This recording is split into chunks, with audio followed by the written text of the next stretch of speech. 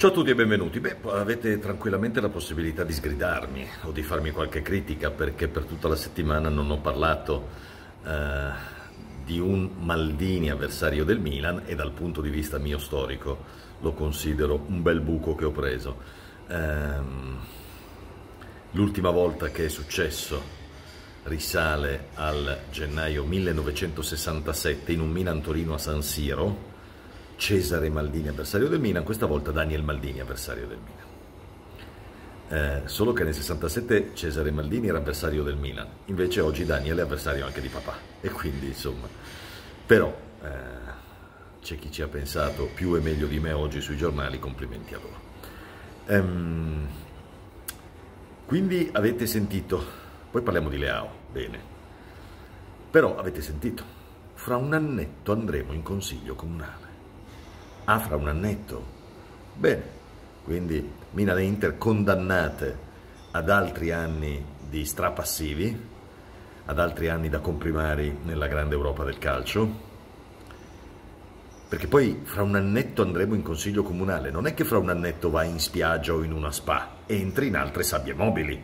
Quindi di annetto in annetto si è deciso così, io pensavo invece a, pensa che sciocco, a un'accelerazione, a e invece siamo qui a dire, andate ci stanno dicendo andate avanti a perdere soldi a San Siro. Che è un monumento, io non voglio mancare di rispetto a San Siro, sia ben chiaro, eh? però la condanna è questa. No, San Siro va tenuto su, tenetelo, le squadre andranno altrove, oppure il Milan andrà altrove, e a San Siro o ci giocherà l'Inter, pur avendolo costruito presidente del Milan, Piero Pirelli, oppure rimarrà una landa desolata più o meno come adesso quando non ci sono partite. OneFootball, ve lo ricordo, OneFootball a vostra disposizione, OneFootball vi aspetta, scaricate l'app di OneFootball e nella descrizione di questo video c'è il link, scaricatelo. L'app di OneFootball è gratuita, l'app di OneFootball è la casa del calcio in streaming, l'app di OneFootball è a vostra disposizione, tante partite, tanti highlights, tante notizie, anche Milan, se scegliete il Milan come squadra preferita, scaricate l'app di OneFootball, l'app di OneFootball è gratuita e vi aspetta e quindi sullo stadio butta così. Ieri poi c'è stata la dichiarazione a favore di Matteo Salvini contro di Vittorio Sgarbi e di Silvio Berlusconi, per cui direi bene, ieri è stata una giornatina da questo punto di vista. Per cui ragazzi, eh, se andiamo in Champions League, la, la, la, il mercato funziona così più o meno. Se si va in Champions League si può prendere un giocatore. Quest'estate abbiamo preso Charles, due stati fa abbiamo riscattato Tonali e Tomori. Altrimenti no, eh, ragazzi, questa è la situazione. Non andare a San Siro significa questo, per cui poi quando ci saranno le polemiche sul Milan, sull'Inter, i risultati, il mercato, eccetera, eccetera, parleremo con i comunicati, con i comitati, chiedo scusa, parleremo con i comitati, i comunicati non c'entrano nulla, parleremo con i comitati, parleremo con l'annetto, parleremo con uh, le opposizioni, gli illuminati, eccetera, eccetera, eccetera. E quindi va bene così. Non andrà a finire così, ma per quanto riguarda ieri e queste ore va bene così. Ora, eh, io ho trovato francamente non meraviglioso eh, il riferimento eh, sbattuto in prima pagina sulle AO proprio il giorno di una partita, proprio a ridosso di Milan Spezia. Per carità, la situazione esiste, la vicenda esiste, quindi un giorno o l'altro è sempre prima di una partita. Però ecco, oggi, pum, va bene, eh, fa parte della vita, fa parte del calcio, nessuno fa drammi, nessuno fa polemiche, abbiamo superato di ben altro.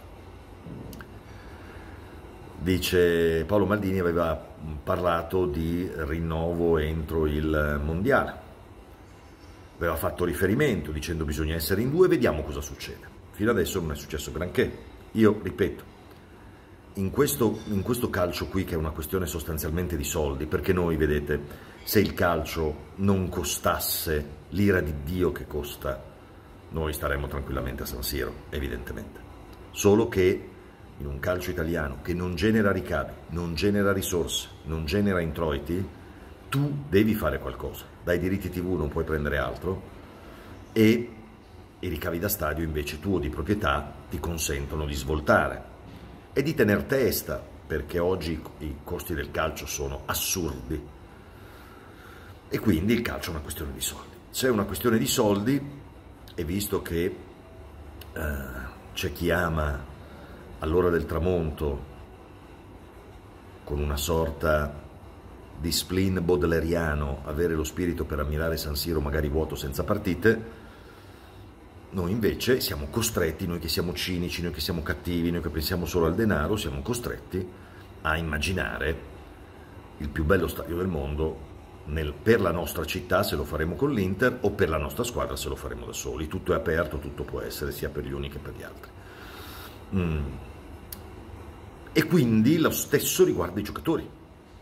Io guardo, io guardo di stagione in stagione chi è in rosa e se chi è in rosa dà il massimo. Quando chi è in rosa dà il massimo io sono contento. Non possiamo in questo momento fare altri discorsi.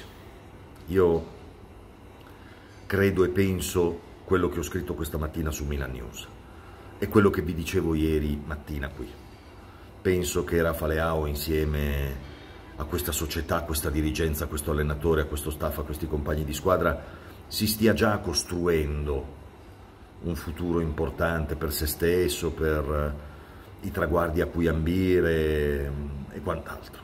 Per cui direi che il futuro può essere tranquillamente questo. Poi non c'è ancora l'intesa economica, mi auguro che con uh, l'adeguata convinzione, gli adeguati sforzi e sacrifici da ambo le parti si possa arrivare ad una soluzione.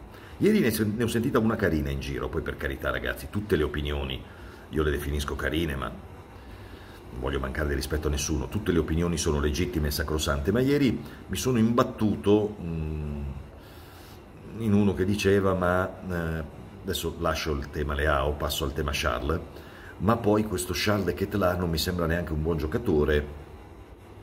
Del resto, la scorsa estate, oltre al Milan, c'erano solo il Leeds e il Leicester, e il Leicester non lo voleva nessuno. Va bene, benissimo. Dico semplicemente, quando abbiamo preso Leao, visto che stavamo parlando di Leao, nell'estate 2019, chi lo voleva?